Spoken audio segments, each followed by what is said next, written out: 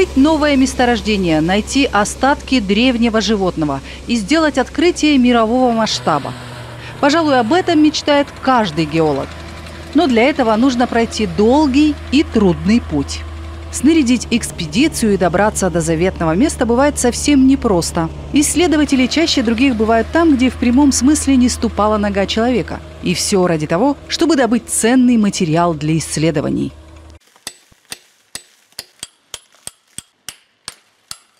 В экспедиции ученые отбирают материал для исследований и точно указывают место отбора образца или пробы. Точку на карте ставят, используя спутниковый навигатор. Кроме этого, все данные строго фиксируются в полевом дневнике. Но это лишь малая, хотя тоже очень важная и сложная часть работы. А впереди исследования. После завершения исследования, опубликования результатов и подготовки отчета собранные образцы оформляются в специальные коллекции и сдаются на хранение. Это святая святых Института геологии. Его ученые называют камнехранилищем. Именно здесь находятся все добытые в многочисленных экспедициях материалы. Череп древнего медведя, бивни мамонта, множество пород и проб из разных мест. Всего более 200 тысяч единиц хранения. Каждый образец с этикеткой имеет свой уникальный номер и данные о том, когда и откуда привезен – во время переезда в новое здание с некоторых образцов были утеряны этикетки. Таких образцов совсем немного, но их все же не выбросили, а оставили в качестве экспонатов для музея. Камни собакиты, когда, например, э, теряется этикетка или что-то такое, вот это вот, ну, то есть получается красивый образец, жалко выкинуть. Собакитами геологи шутливо называют образцы, непригодные для дальнейших исследований – Обычно их оставляют для обменного фонда или учебных коллекций. Считается, что этот термин ввел академик Александр Евгеньевич Ферсман. По его словам, собакиты могут быть полезны только для бросания в злых собак и иных агрессивных животных с целью их отпугивания. Институт геологии Коми накопил огромный опыт и знания по Арктике. На Пайхое, Тимане, островах Северного Ледовитого океана побывало более 100 геологических экспедиций – Повторить в таких объемах и масштабах выполненные ранее работы на сегодняшний день очень трудно. Такие экспедиции будут очень затратными и организационно сложными, поэтому собранный в хранилище материал уникален. Он может послужить первичной геологической информацией для всех организаций, работающих в Арктике. Сейчас мы находимся в основных фондах, где сосредоточено а, более 90% эм, материалов, которые собрали сотрудники Института геологии, а, также передали а, сотрудники других геологических организаций Республики Коми. Есть материалы, которые отнесены к основному фонду, которые на постоянном местохранении. И есть рабочие материалы, когда ученые могут прийти в наш музей, не повторять уже те геологические работы, которые проведены ранее, взять этот материал для повторного исследования или сделать дополнительные анализы для уточнения наименования или выявить новые свойства образцов. Перед исследованием породы определенным образом подготавливают. Для более детального изучения, чтобы понять, из каких минералов состоит образец, его измельчают – вот на такой установке порода дробится на более мелкие фракции, затем просеивается. Как правило, для изучения требуются частицы размером не более 2 мм. В основном породы распиливают, шлифуют, полируют и изготавливают различные препараты для исследований. В зависимости от того, какого размера нужны образцы для исследователей – вот здесь породу разрезают и шлифуют. Затем ученые выберут тот участок, который интересен для исследований. Из него сделают более тонкие срезы. И вот начинаем полировать. Это уже последняя доводочная стадия образца. А здесь очень тонкий процесс изготовления образцов. Вырезается тонкий шлиф. Затем образец заливают в эпоксидную смолу – и шлифуют до блеска. Так изучаются рудные минералы в составе горной породы. Фиксируется сукно для полировки, наносится алмазная суспензия соответствующего размера. В нашем случае это микронная суспензия для полирования. устанавливаются настройки, длительность полировки, режим полировки. В держатель устанавливается образец. Процесс полировки происходит в автоматическом режиме.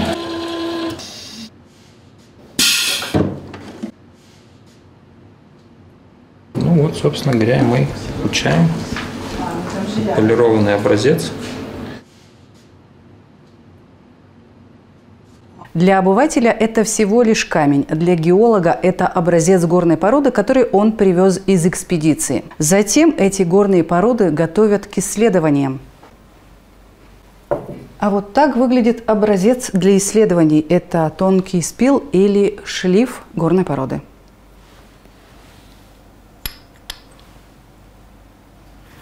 И вот такую картинку геолог видит под микроскопом. Ученые по этим красивым рисункам определяют, какие же минералы перед ними. И чаще всего это целый спектр разных минералов. По оттенкам этого красивого среза горной породы можно также установить и в каких условиях и при каких температурах порода могла образоваться. Мы видим амфиболиты. Порода состоит из зеленого амфибола, тут он зеленовато-коричневый, и бесцветного плагиоклаза.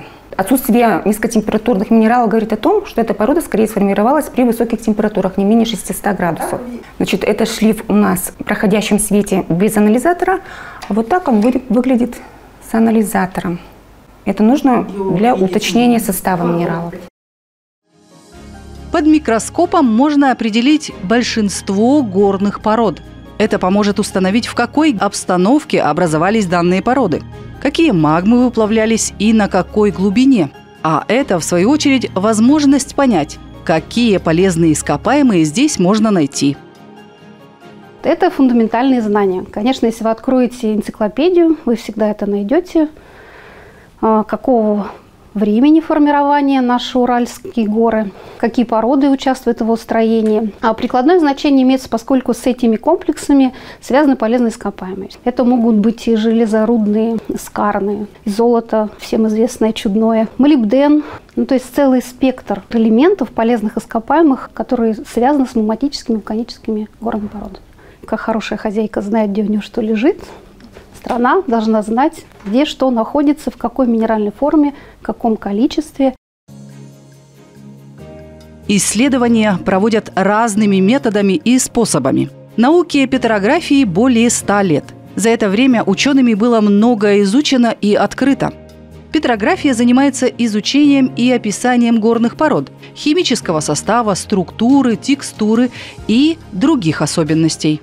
Каждый минерал имеет свои характеристики – Петрографы уже со студенческой скамьи учатся определять минералы, как говорится, на глаз. Сначала мы смотрим визуально э, в лупу. И я уже могу сказать, какие минералы здесь находятся. Но многие минералы более мелкие, для этого требуется изготовление шлифа. Если порода дробится, потом мы вытаскиваем из нее минералы, ну, здесь вот как бы они в пакетике, конечно. И ну, уже вот эти минералы, они идут или на электронный микроскоп, или на определение возраста. То, что дробится до фракции пудры, потом растворяется или сжигается, по спектру определяется состав горной породы, или при растворении, как при классической химии, определяется состав породы. Возраст породы определяют множеством разных методов. Это можно сделать с помощью минерала геохронометра – Геохронометр – это своеобразные часы для измерения возраста Земли. Такими часами может быть минерал циркон. С персидского переводится как «золотистый». Бывают такие минералы уникальные, как тот же циркон, когда вы можете проследить по зональности минерала все этапы, которые он проходил. То есть плавление кристаллизации, метаморфизма последующего. Он имеет зональное строение, и в каждой зоне фиксируется каждый последующий процесс. С течением времени ученые открывают новые методы исследований. Появляется новое высокоточное оборудование, с помощью которого можно сделать совершенно новые открытия. Из породы, возраст которой нужно определить, отбирают минералы-геохронометры – цирконы. И вот на таком микроскопе определяют, в каких зонах мельчайшего минерала можно это сделать. В результате взаимодействия ускоренных электронов на поверхности циркона происходит ряд процессов. Одним из процессов является катодолюминесценция – свечение вещества. Детектор регистрирует эти лучи. Мы видим зоны роста циркона. Если смотреть в обычном режиме электронного микроскопа, я сейчас могу вам продемонстрировать, мы не видим данные зоны. Это будет обычный непрозрачный циркон, где зоны не видны. Это у нас обычное изображение, а это катодолюминесценция. И видно разницу. На экране мы видим циркон, зональность, и мы видим, как он растет. И мы можем продатировать данный циркон. И это только начало. В институте отбирают цирконы, выявляют, по какой зоне можно определить возраст.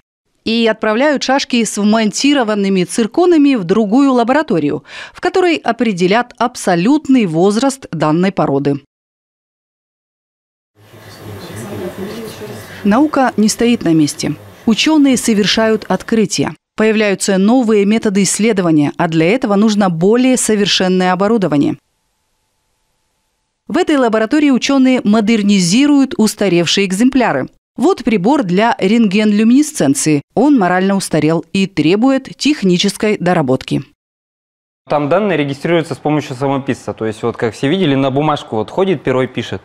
А наша задача написать приложение на компьютер и связать его, чтобы данные поступали уже на компьютер, и их можно было, как на современных приборах, обрабатывать. Вот блок светофильтров. Его напечатали на 3D принтере. Это в процессе разработки. Вот, например, я нажимаю ему посылку, блок светофильтров работает, то есть он выставляет определенный светофильтр. А вот плита тоже усовершенствовали. Теперь на ней можно выпаривать кислоты в платиновых мензурках. Чтобы не было коррозии, плиту покрыли тефлоном и установили терморегулятор. К примеру, у нас на доске план текущих работ. Здесь мы вот видим Т-скан. Это современнейший электронный микроскоп. Ну вот, к сожалению, пришлось ремонтировать. Галочка стоит, сделано. Иван Соловьев в этом деле прославился. Рентгенлюминесцентный томограф, изготовление. Вот придуман новый прибор, съемка.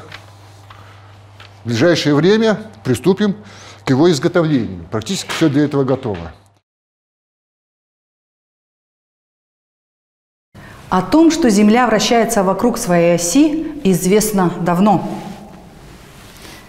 Вращение Земли мы не ощущаем, но видим. Это приводит к смене дня и ночи.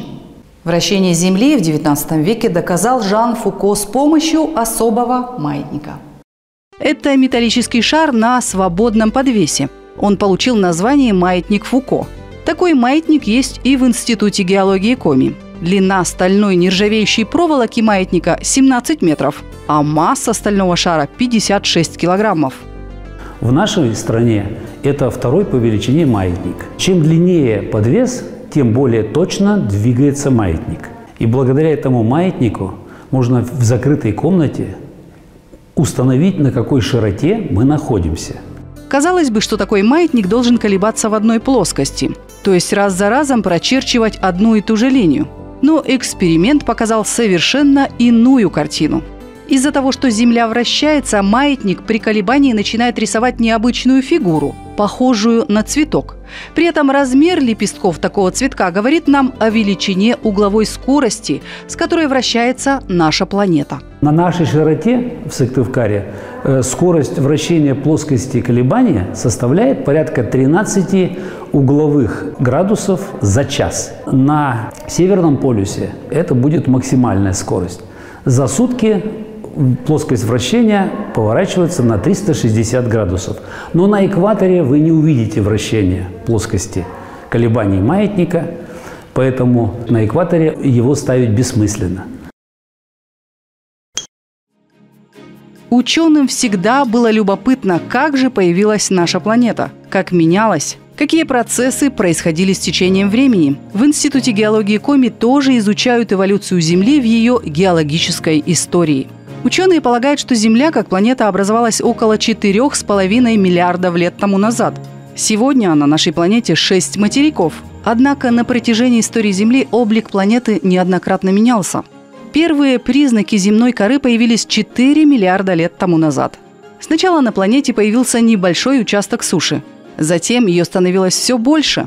Она формировалась за счет океанической коры, которая поднималась и стала возвышаться над уровнем моря. Появился первый континент, который потом раскололся на несколько частей. Континенты с течением времени еще несколько раз сходились в один суперконтинент и затем снова распадались. Такое движение континентов связано с процессами, идущими глубоко в недрах Земли, в ее мантии. На Урале и в том числе в его северной части встречаются уникальные породы возрастом около трех миллиардов лет. Вот этот образец. Для обывателя эта порода вроде бы ничем не примечательна, но этот ценный экземпляр может рассказать о многом. В том числе, какие процессы происходили на нашей планете с течением времени на протяжении трех миллиардов лет – в качестве таких результатов, которые были получены по этому направлению, это уточнение образования кротона Балтика, который образовался примерно 2 миллиарда лет тому назад. Кротон – это крупный массив континентальной коры, который имеет свои свойства, и он единый, он не распадается. Нет. Это древний кротон, который был в составе суперконтинента, так называемый Колумбия, вот куда входит вот и наша территория. Учитывая, что у нас есть комплексы, которые вот соответствуют двум миллиардам лет и более древним, то мы уточнили, во-первых, историю формирования этого кротона и его границы. В таких границах он обозначался. Сейчас мы считаем, что он значительно больше. При движении и столкновении континентов, а также горизонтального и вертикального движения земной коры, на Земле происходили различные процессы – извержение вулканов, раскрытие и закрытие океанов, рост и разрушение гор, в результате чего со временем образовывались полезные ископаемые. Сегодня ученые исследуют нашу земную кору. Это верхняя оболочка Земли. Ее толщина примерно 30 километров. Она сложена из различных горных пород. Геологи исследуют глубинное строение европейского северо-востока – это помогает понять, как и в каких условиях образовались те или иные полезные ископаемые. Те породы, которые мы изучаем, это те, которые образовались 100 миллионов лет, там, несколько сотен миллионов лет, даже миллиардов лет, они встречаются только в горных системах. Это на Урале и на Тимане.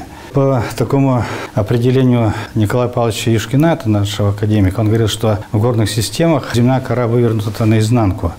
Действительно, здесь встречаются породы, которые находились и сформировались на глубинах там 10, 20, 30 километров, которые имеют очень древний возраст.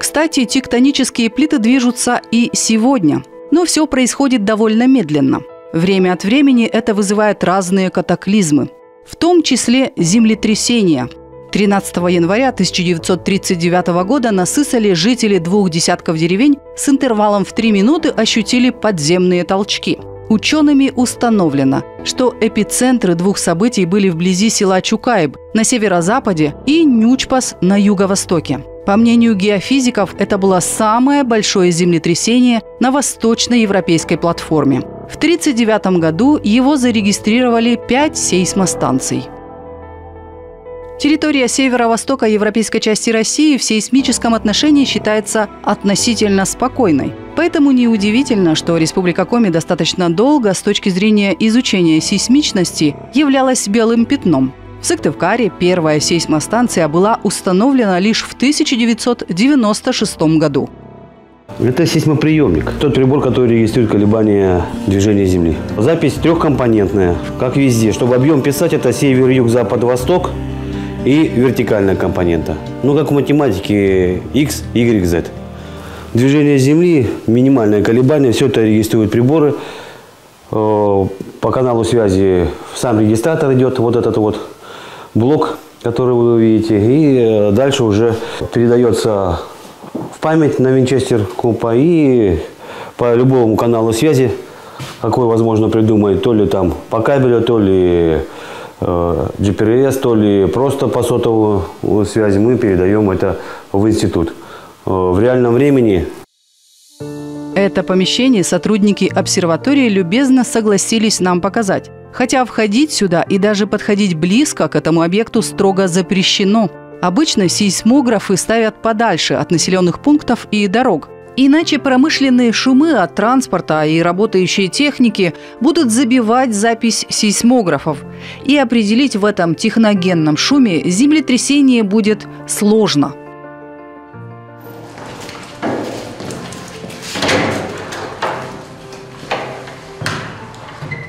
Станции нам удалось поставить три. Постоянно работает только Сыктывкар на одном месте, а остальные мы, в общем-то, переносим там на несколько лет. У нас станция работала в Выжме, станция работала в Гриве. Сейчас станция работает в Пожиге, Сыктывкаре и в Инте. И вот уже 25 лет наблюдений позволило нам с уверенностью говорить, что на нашей территории происходят сейсмические события, мы будем назвать их землетрясения, именно тектонические землетрясения, потому что нельзя путать их с техногенными После установки сейсмостанций в Коми учеными было зарегистрировано более десятка землетрясений. Самое сильное из них – Емвинское. Произошло вечером 17 сентября 2004 года вблизи поселка Ракпас Книжпогосского района. Этот толчок почувствовали все жители населенного пункта. Сейсмическое событие зафиксировали 25 станций. Пермские, архангельские и даже зарубежные станции. Опираясь на слова очевидцев и обработав записи сейсмографов, Емвинское землетрясение оценили как пятибальное. По материалам исследований сотрудники института выделили четыре зоны на территории Коми, в пределах которых возможны землетрясения. В одну из них попал и Сыктывкар. На экране землетрясение 2011 года, которое произошло в 20 километрах от Сыктывкара. Естественно, его никто не ощущал, оно было очень слабо, его магнитуда 2, но произошло оно совсем рядом с городом. Сейсмически наиболее опасной считается зона Кировско-Кажемского Авлакогена. Это область земной коры, на которой проходят сложные процессы перестройки. Эта узкая зона протягивается от Сыктывкара до Кирова. Там возможны землетрясения силой до 7 баллов. И, по мнению ученых, больше всего потряхивает именно здесь. Ученые составили схему сейсмического районирования. Она ежегодно пополняется. Мы получаем записи сейсмического события. Естественно, нам мало наших, только записи. У нас всего три сейсмостанции. Мы взаимодействуем с коллегами из других центров сейсмологических, из Архангельска, из Апатит, из Перми. Обмениваемся данными, добавляем к нашим и обрабатываем это событие, рассчитываем эпицентр.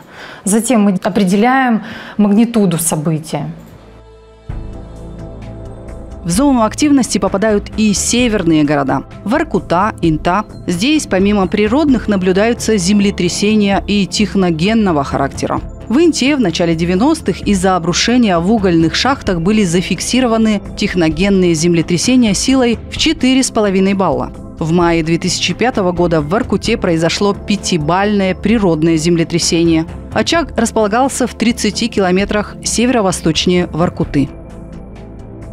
У нас на Ударе собирались строить атомную станцию. Э, выбрано место а, совершенно неудачное. Оно было выбрано на крупном разломе. Ну, я думаю, может быть, не это сыграло основную роль, может быть, там жители или что. Но вот в таких ситуациях с пониманием того, где строить крупные объекты, объекты опасные, э, вот и сейсмичность очень важна.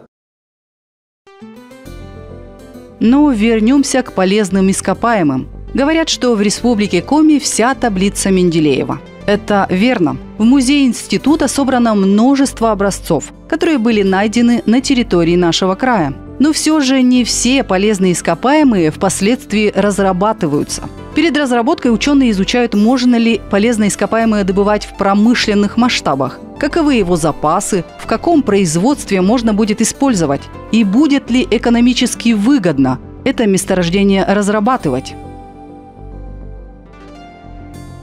На Тимане известно Амдерминское флюоритовое месторождение.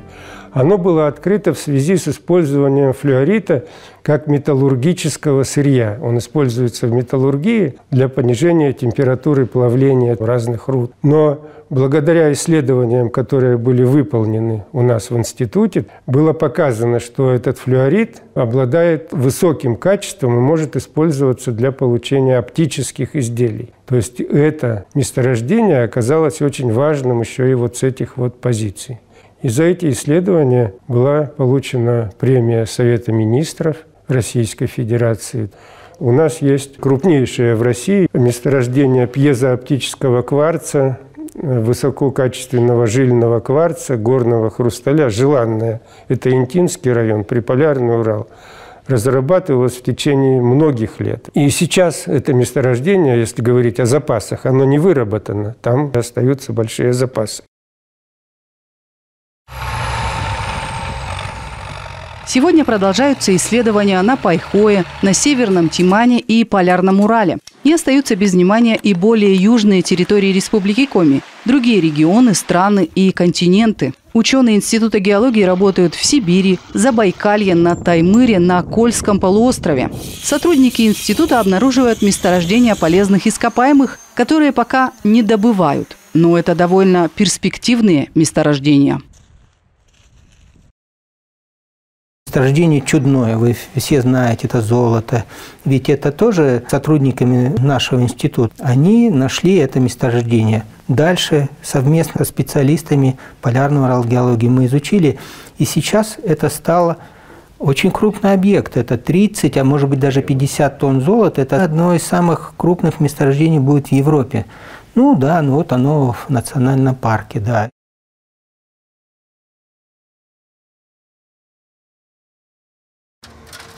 Есть и другие полезные ископаемые, которые для нас, обывателей, не являются полезными ископаемыми. Но, тем не менее, они очень нужны. Например, для строительства дорог нужны песок, щебень, гравий. Ученые ведут поиск этих материалов вблизи строительства, чтобы сделать проект экономически более выгодным. Про эту дорогу Баринскомур президент написал поручение о строительстве ведется проектирование порта на Индигу. У нас есть свои варианты э, строительства этой дороги. Эта дорога называется Сосногорск-Индиго. Мы же придерживаемся того, что сделать ее из Чиньяворока путем расширения действующей бокситовой дороги и продолжения на север. Что нас ожидает в будущем? Ну, безусловно, это изучение и не только земной поверхности, но и поверхности других планет. Ведь, конечно же, если какой-то человек впервые вступит на другую планету, ну, как было с Луной, что он первым делом сделал? Он отобрал пробы грунта. То же самое будет в каком-то будущем на Марсе, на других планетах. Конечно, мы все дальше и дальше погружаемся в изучение э, глубин мирового океана, потому что будущее связано тоже с освоением Мирового океана. Это такие направления, которые, может быть, не сильно связаны с территорией Республики Коми, но это наше будущее, будущее геологии. А пока ученые Института геологии Коми продолжают изучать, как развивалась наша планета, как эволюционировали и взаимодействовали между собой виды, как образовались и где можно найти полезные ископаемые – еще много загадок таит в своих недрах земля Коми. Разгадать их и сделать доступными несметные сокровища подземных кладовых – такова цель ученых Института геологии Коми.